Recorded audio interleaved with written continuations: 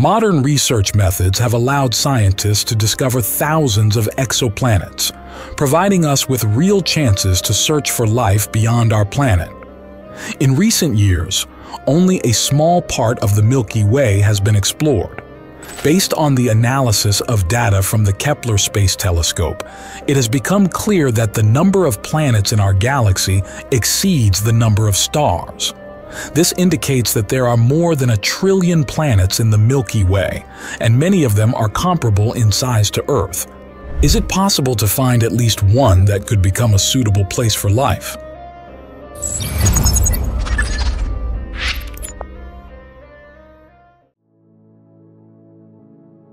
Man has always been curious about whether there is life beyond Earth. Within the solar system, no organisms even remotely resembling those on Earth have been found, so it was decided to search among planets belonging to other star systems. Over the past three decades, astronomers have discovered more than 5,000 exoplanets. Many of them differ significantly from Earth, being gas giants. They amaze with their differences in composition, sizes, and even surface conditions. However, amidst this diversity, scientists are searching for worlds that could be similar to our home planet, Earth-like planets where life could exist.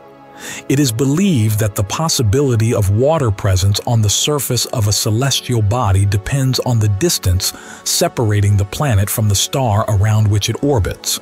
In our solar system, only three planets are in the zone where conditions may be suitable for life.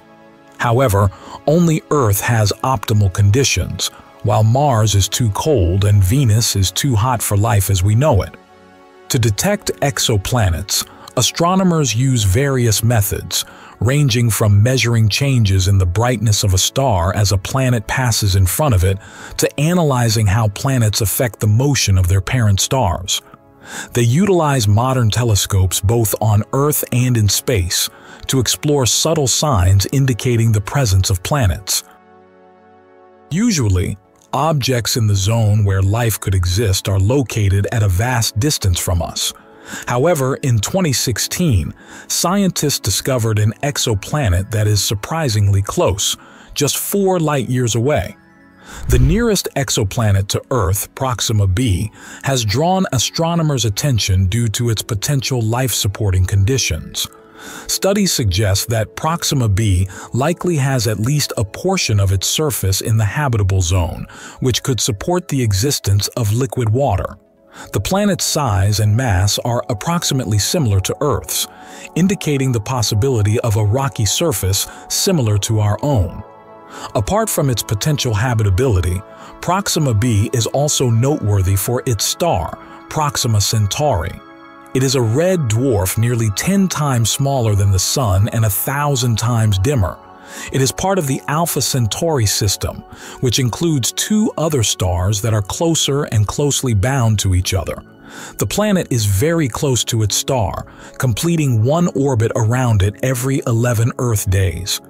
Despite the proximity, due to the star's low luminosity, the planet receives just enough heat for water on its surface to exist in liquid form and not freeze into perpetual ice.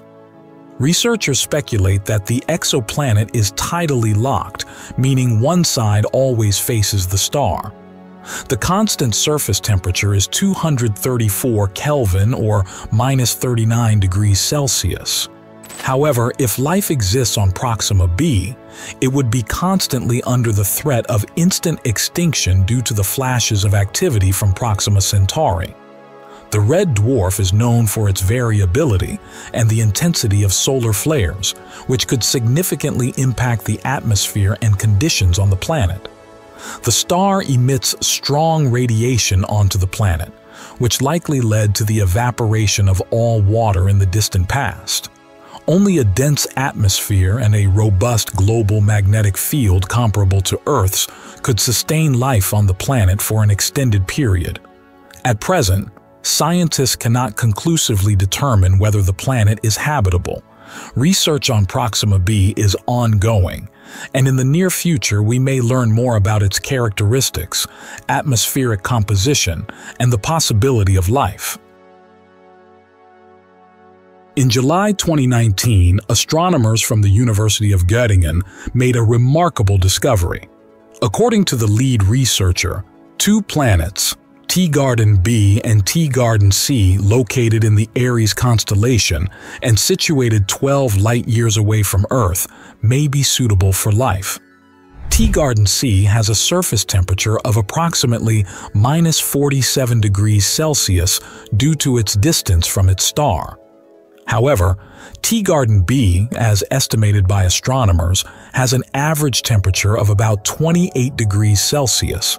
This planet is considered the most promising candidate for hosting life in the entire history of research, boasting the highest Earth Similarity Index currently.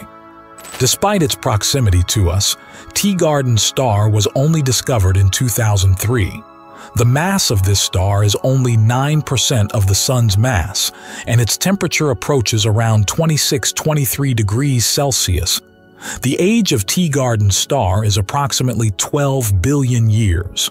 Interestingly, Teegarden stands out among other red dwarfs due to its unique tranquility, diverging from the typical characteristics of such objects in the universe. This implies that Teegarden B is not subjected to intense energy outbursts from its parent star. A year on Teegarden B lasts only four days, meaning, considering the size and temperature of the star, the exoplanet receives more heat than Earth does from the Sun. The average surface temperature of this planet is 28 degrees Celsius compared to Earth's 15 degrees. This suggests that Teegarden B provides more favorable conditions for the emergence of complex life forms, as the elevated temperature ensures the accelerated progression of chemical reactions. Teegarden star is much older than the Sun, indicating that Teegarden B is likely much older than Earth. It seems that the planet had more time in reserve for biochemical reactions that could lead to the emergence of life. A hypothetical evolution, lasting longer than on Earth, could have led to the development of intelligent beings. If we continue our journey for another 10 light years in the direction of the Scorpius constellation, we will come across the super-Earth Gliese 667 cc, orbiting its parent star Gliese 667c. This star is part of a triple star system, with both Gliese 667a and b being more massive than the smaller companion. It is a red dwarf star and significantly fainter compared to our Sun. The surface temperature of Gliese 667c reaches 3,400 degrees Celsius. Due to this, it emits less radiation and has a luminosity greater than 1% of the solar value.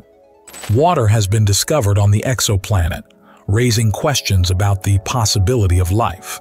It has been named a super-Earth because the planet is four times larger than Earth but smaller than Uranus and Neptune. If the inclination of its orbit is not too small and, consequently, its mass is not too large, the greenhouse effect created by a dense enough atmosphere could potentially create comfortable conditions for the existence of primitive forms of life on the planet. Gliese 667 cc is part of a system where several stars form a stellar system. This means that the view of the sky on the planet would be unlike what we see on Earth. In the sky, other stars could be visible, perhaps even several times brighter than our Sun, depending on the distance and characteristics of other stars in the system. The surface of the exoplanet can be diverse. Considering the distance and the type of star around which it orbits, one might assume that the temperature and climate on this planet could be similar to Earth's conditions. However, Specific details about the atmosphere, surface, and potential forms of life on this planet remain a mystery as our observations are still quite limited.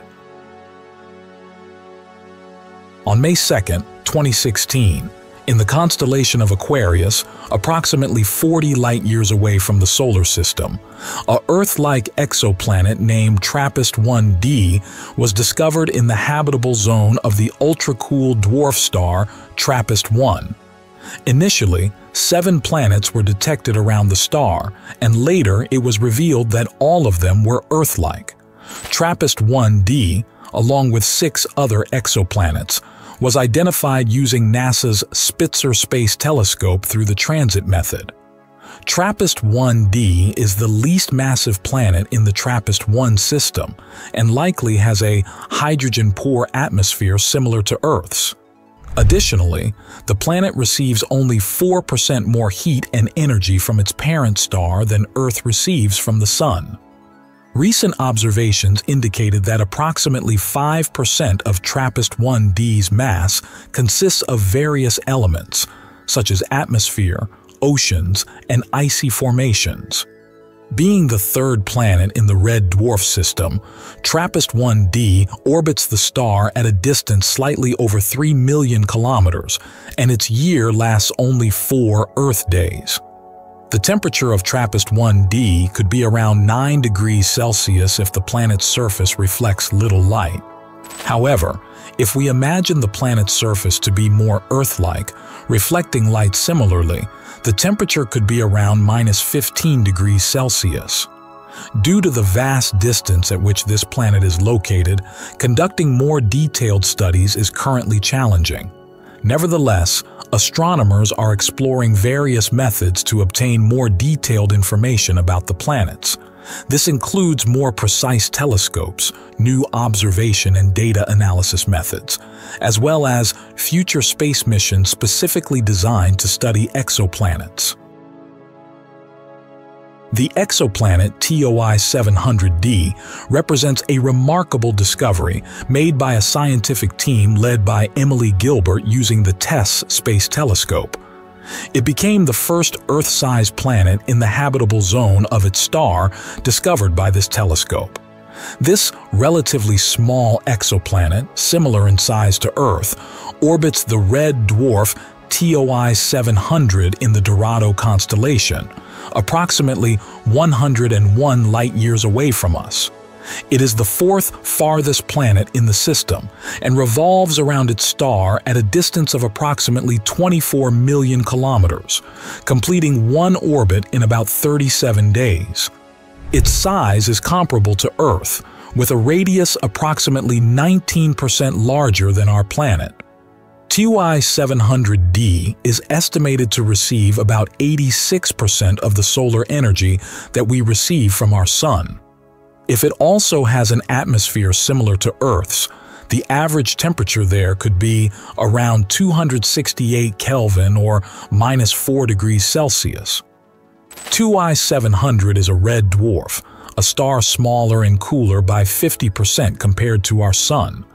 This indicates that TOI 700d is in the zone where conditions for life could theoretically exist, and due to its Earth-like similarities orbiting this star, it is likely that an atmosphere could be preserved.